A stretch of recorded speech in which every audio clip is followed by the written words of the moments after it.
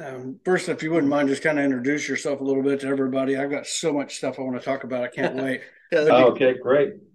Well, yeah, I'm, I'm Michael Glotz. I'm uh, CEO of Strategic Risk Associates, and that's a firm that I started in 2008. So it's 15 years old. Uh, we're having a lot of fun here at SRA. We started out as a pure consulting uh, company, uh, veteran bankers and former regulators. In the last recession, doing bank turnaround works, we had dozens of banks that had consent orders, or you know, regulators wanted to close them down, and we were bank savers. We saved the bank. We came in and helped the management team, you know, upgrade the management team, sold problem loans, put new credit standards in place. And out of the 25 banks that we work with, we only only one of them was shut down. And so that was great. And uh, before that, I was with Capital One Financial built uh, their first enterprise risk management uh, system and uh, was chief strategy officer at SunTrust Bank for a number of years. So I've been having too much fun in the banking business for too long, guys. Too long, right?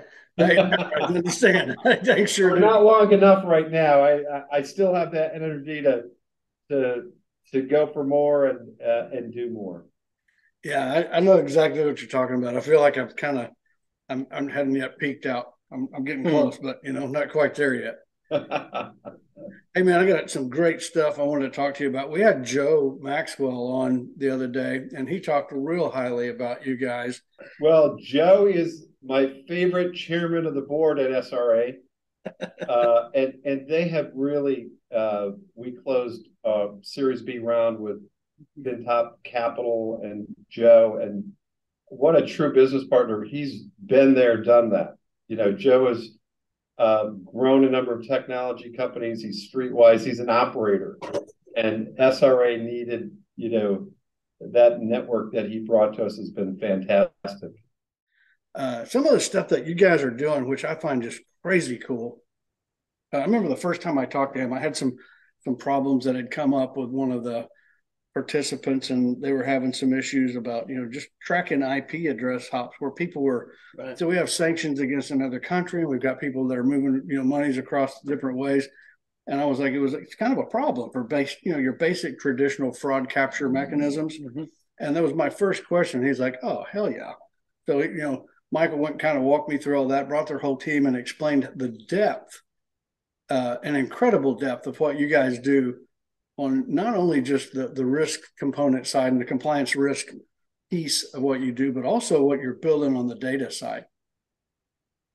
Yeah, it, um, we, you know, I'm a real believer in, you know, aggregating data to measure risk and and that that really gets back to my Capital One days. We Capital One was an information based security information based strategy company, and they they originated loans with data. And you know, my objective in helping to build a risk organization is using the data, that same data that that you're using to originate loans is data that you need to monitor for the risk. And uh, you know, risk and strategy are two sides of the same coin. So aggregated monitoring of fintechs is one of the things that we we've been working on. Currently, we're monitoring 68 fintechs by aggregating already existing industry data, and and that's data from uh, CB Insights, from Dun and Bradstreet, from Security Scorecard, and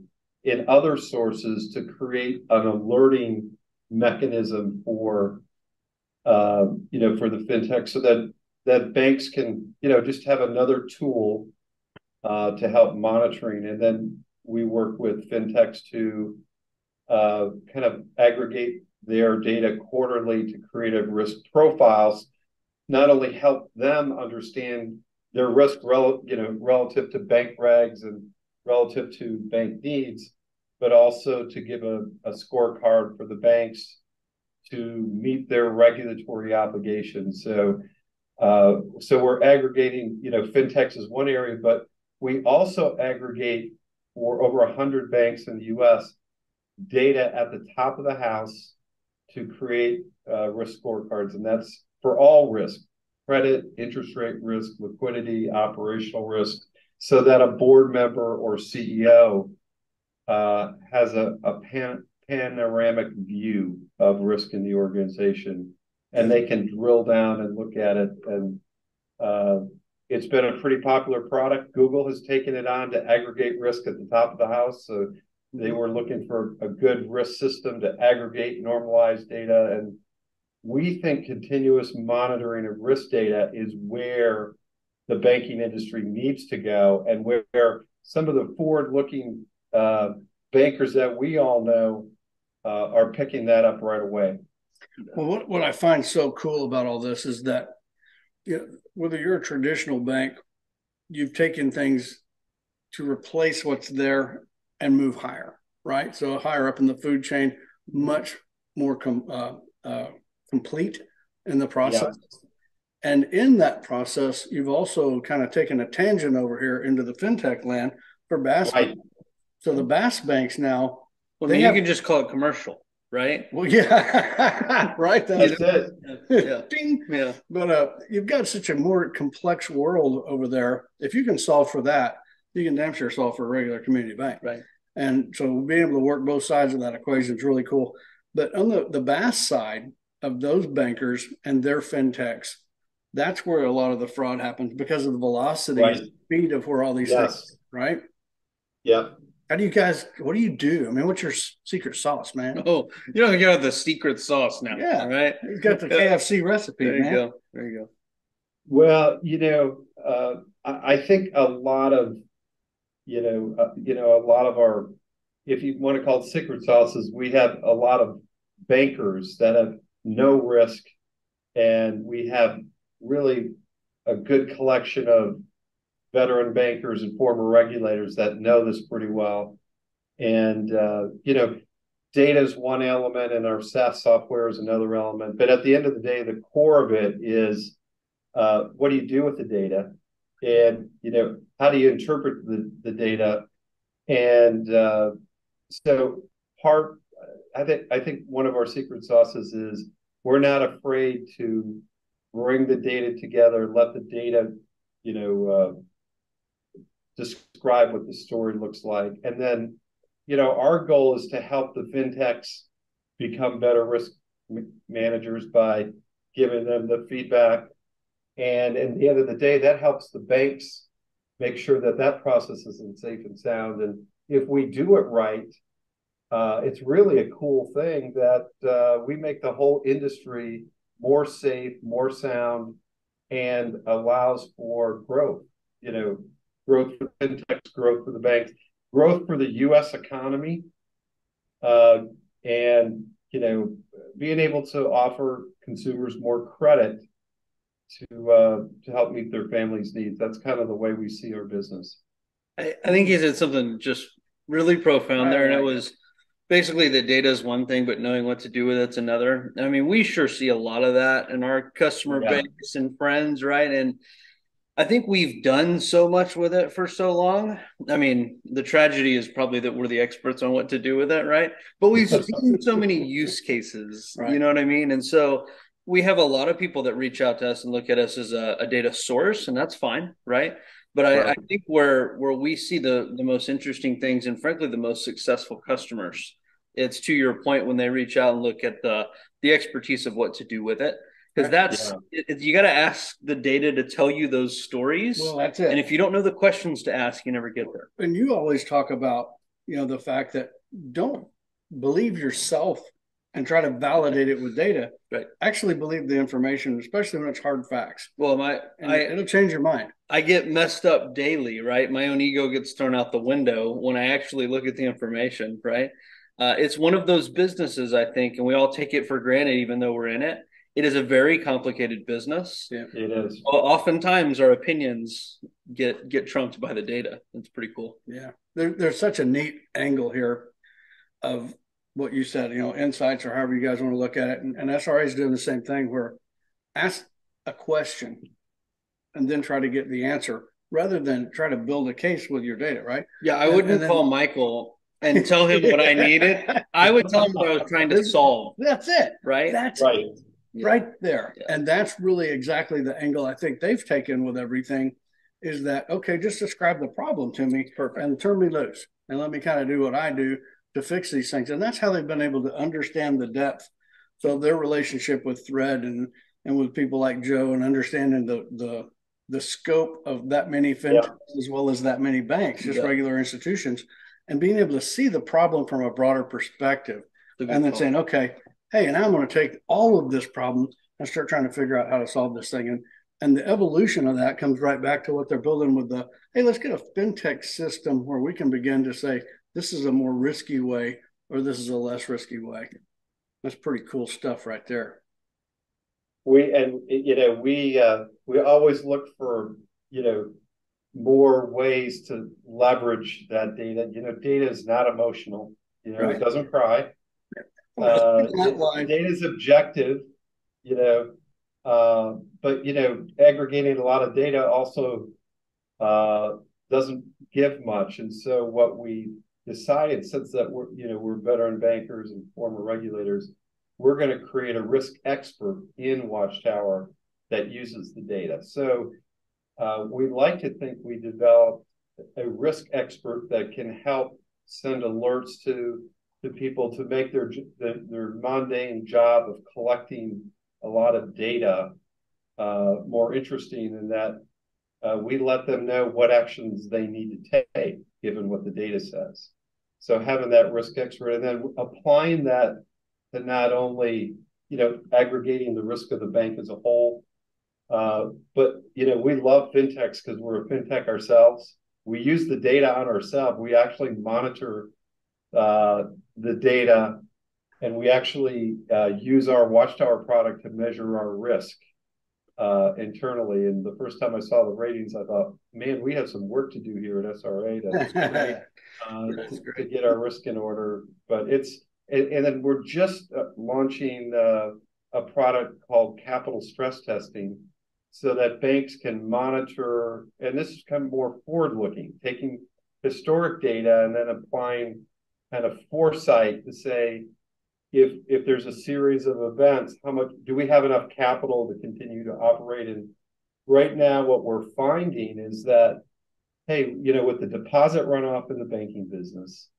uh, with the fact that capital is really expensive for banks to raise, uh, you know, they're they're going to need to start uh, maybe slowing the loan growth down in the short term until capital becomes available uh, and you know, playing with some you know capital scenarios allows them to optimize that you know uh, scenario. And again, it's using data, and it's just so much fun because it's you know we're we're risk nerds here at SRA, but we're a bunch of risk nerds, and we like building building things that help the businesses, uh, the banks do better.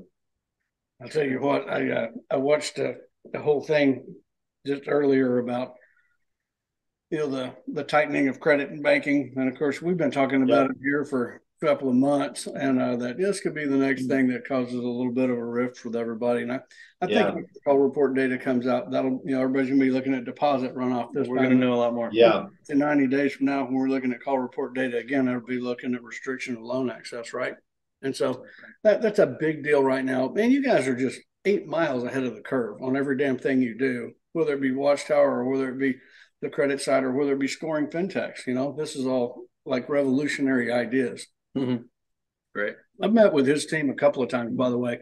Sharp people. I so that was the feedback from our team that was on those calls, right? And I, I think that says a lot when when our team gets engaged in a data discussion with another company and they're coming back saying how smart they were i can imagine. Yeah i've seen a few of those on the other side right? Well so, that's why we're working with you all because uh, what you're doing uh, with the with the BaaS association and FedFis is just exciting because you're you're very much aligned to you know veteran bankers building helping other bankers uh, with your experience and knowledge and, and your data. You're a data aggregator.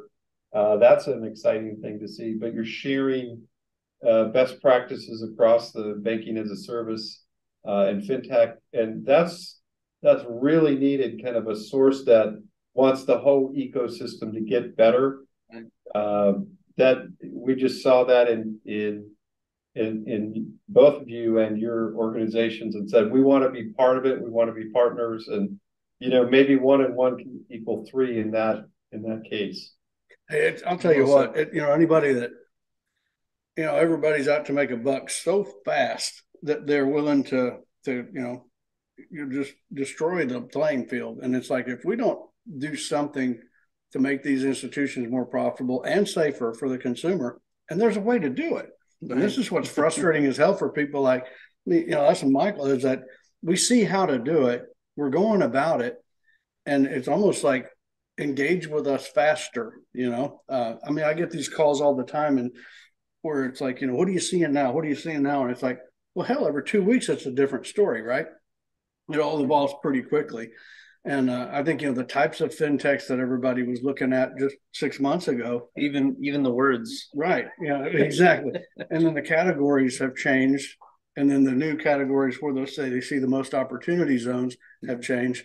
And this information needs to be shared better back and forth amongst the BaaS banks, and of course, the fintechs. You know, they've gotten a little humbled here lately. You know, a little access to capital issues. Yeah, you're, you're right you know there's some smart ways that we can help people. And then there's just the basic how the hell we got here is not how we're going to move in the, the future. You know the yeah. future looks completely different because of the merchants and all that whatever word you want to use businesses yeah, access to debit cards or whatever. It's going to change everything. Well, i mean in short the delivery of financial services to an end user shifting more and more to be done through trusted business relationships than physical branches. Right. Right. So I think that looks like a shift in commercial banking. We can call it brands or fintechs or other words, right? But we everybody working together in that process is a good thing for all of us in banking. And a couple right? couple of basic principles. Denial is not a strategy. You know, let's get that straight right off. It's not. And there's a hell of a lot of bankers that are just in total denial or well, yeah. we've done this for 100 years. And it's like, that's not going to get you to the future. And I'm not going to tell you what the future is. Hell if I know. Mm-hmm. but I can tell you it's going to be a lot different than today. It's not going to look like it did. And everybody that's on the technology side of banking is screaming at you that it's going this way. Mm-hmm. Get on board with that. And here's the best part the faster your ass gets involved with it, the more money you make. Well, that's what the numbers say, right? I mean, look, this would be the first time. And I mean, I was there in the early days of mobile banking, right? And the the ROI in mobile was really mobile deposit. And think about the right. cost of booking in a branch. And so through this most recent, you know, granted that was 10 or 15 years ago, right? Uh, through people. this, right, yeah. Through this most recent shift, it's you got to look for the ROI and the numbers, and we're seeing that.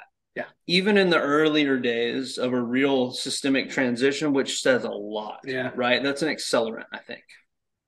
Well, and, and imagine small banks with the ability to compete with larger banks by by leveraging, you know, some pre-developed technology. And you know, a lot of the smaller banks can't afford to develop their own new products and services like Citigroup or JP Morgan Chase. But imagining partner partnering with the innovative fintechs in your 250 million in assets in you know Abilene, Texas, and you can uh, have a national access to a national platform, national deposits, uh, do national lending. It really uh, starts to even the playing field, and uh, it's really an exciting time, you know, in the banking business to be able to leverage that technology. And, and part of what we do is make sure that banks are doing it in a safe way and uh, leveraging it in the right way. Man, amen, amen, amen. I agree completely. We, we must protect the consumer. I think we get that right. And yep. to this is there, there's no rules in love and warfare, I think, right? And so if you figure out something before you tell me, yeah, I think the fintechs are going to go out of bit or they're not going to make it or what, well, they got some damn good ideas because they're taking money out of big banks. And none of you have figured out how to do that yet, except for them. Well, they can't do it profitably but you might be able to do it profitably. And so, right. if you see something that's a really good national brand in one of the fintechs, turn it into a direct bank. And so now you yep. have the option, you can have a hundred of these set up under yourself. I think there's another point to be made from the data side. the amount of profitability I've seen in the last three years in the direct bank space is like polarizing, right? Mm-hmm. Uh, I mean, I think about people like Mike Fernandez with Bankers Lender. Yeah. I mean, just you know, just crushed it. And there's a lot of those. And so I have the feeling right now that anybody who tries succeeds. I know that that's overstated, but just as a general ethos, it feels pretty true of the moment. And I think that shows that, for me anyway, if you contrasted my statement the other way, it shows you the power of having a charter. Uh, right. I mean, yes. it, it is unbelievable how cool it is. And so yep. To kind of take it back, Michael, I like the, you know, the sort of fintech rating system, if that's the right wording you guys are working on. And I think that that effort for you guys is similar because I think you learn a lot of things that you can apply to your regular community bank base and probably yes. help pull them forward. Yep. Is that a fair statement? It, it is a fair statement. And, you know, and really risk is risk. And, uh, you know, a lot of the fintechs are on the leading edge of risk and leading edge of reward, you know, uh, which is great. But there's a lot of lessons learned, uh, you know, from those uh, innovative companies. I just love those companies and the entrepreneurs. But how can the banks uh, learn from that? And, you know, it's interesting. Uh, I did a little bit of work uh, the other week. Uh, one of our customers asked us how many of the key indicators that you have for the fintechs are key risk indicators for the bank. Well, about 50% of them. You know, it's the same, you know, it's you know, it's the same risk in a lot of cases. Now there's always unique fintech risk around capital and uh, you know, raising capital is a unique one. Uh, and on the bank side, you know, there's there's uh, you know a lot of unique you know liquidity and strategic indicators. But uh, we learned from that, you know, that those indicators, you know, fintechs are a mini bank in many respects, and you know the same risks that they uh, they have to manage. You know, a lot of banks have to manage as well. That's well, you pull the charter out of them and they fold. That's it. That's, That's it. it. Simple as that, guys. And they can both pull these. You know, we we've seen it recently. It's like, wow. You know, uh, it, sometimes it's uh, it can happen fast when you least expect it. Yeah, great. It was great. Well, we've been over here screaming about a, a digital bank run is coming for five years, yes. and nobody heard us until it did. And we felt. And then the, the, damn phone rings off the wall with all the regulators calling us saying, "Well, how do you stop it?" And I'm like, "You're not going to like the answer. Right? Uh, it's right. not a pretty one, without just scaring the hell out of people worse. And so there's oh, got to yeah. you know where you can slow down that process. Well, you still allow people to do bill pay and accept their direct deposit and do the regular banking functions that they would do where it doesn't affect the normal guy. I mean, we've been moving towards real time for a long time, right? And I kind of joke and call it real time fraud. right. It's not, it, that was a really funny joke from me six months ago, and it's not it's as not funny, anymore. anymore. yeah.